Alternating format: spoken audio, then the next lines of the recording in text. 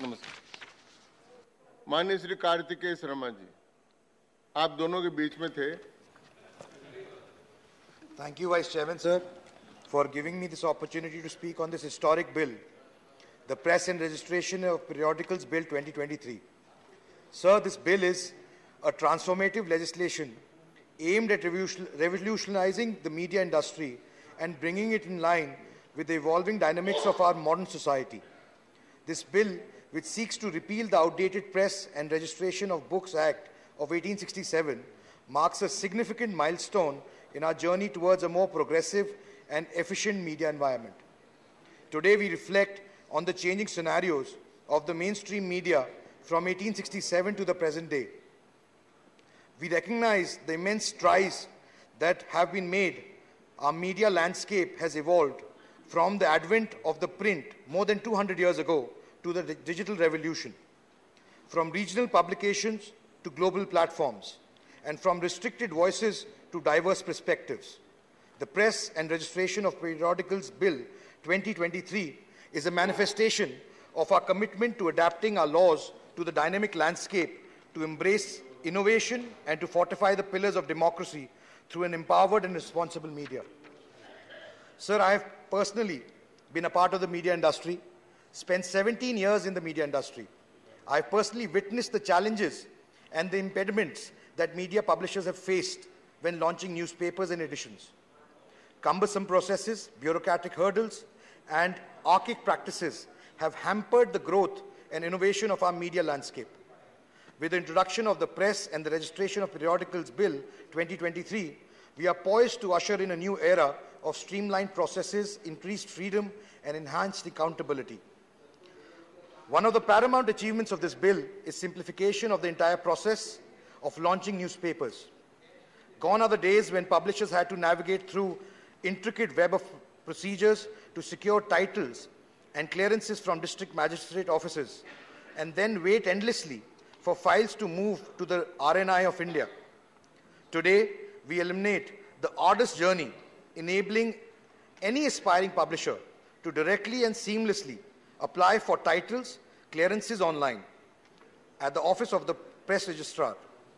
This monumental shift in approach reflects on our commitment to ease of doing business and harness the power of technology to empower our media entrepreneurs. So, as we intertwine the narrative of the Jan Vishwas bill, we find a common thread of trust.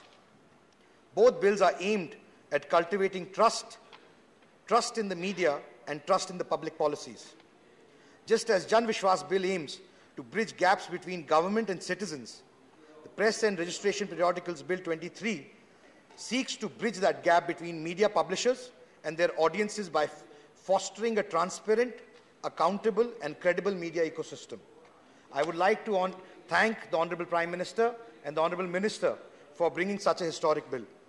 Furthermore, this bill addresses a long standing concern the use of draconian clauses that impose jail terms on publishers and owners for minor mistakes.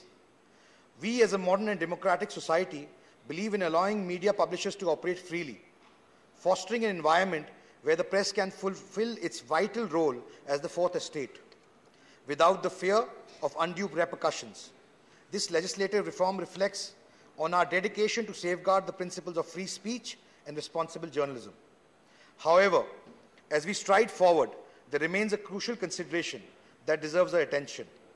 I would like to, through you, Honorable uh, Vice Chairman, sir, bring certain areas of concern. In the Chapter 4 of Clause 3 of the bill, it is noted that any publisher can use a title in other languages, even if it has been allowed to a publisher in a specific state, lang- state and language. While we celebrate the freedom of expression and diversity that our country embraces, we must also recognize the immense investment that goes into building a media brand.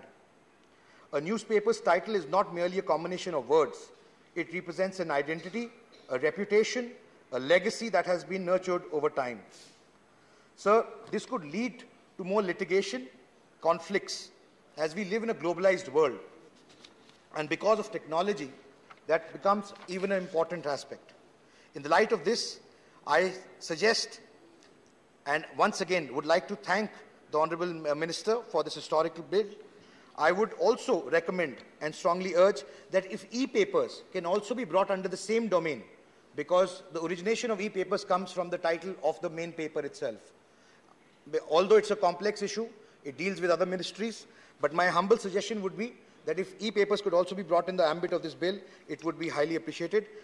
Once again, I'd like to congratulate the Honorable Minister, धन्यवाद। and I would like to support the bill. Thank you very much. धन्यवाद कार्तिकेय जी वैसे वैसे मैंने माननीय सदस्यों को किसी को भी पढ़ने से रोका नहीं है पर अपने नियमों में प्रावधान ये है कि आप लगातार पढ़कर नहीं बोल सकते फिर भी मैंने किसी को रोका नहीं है मैं तो केवल ध्यान ध्यान दिला रहा हूँ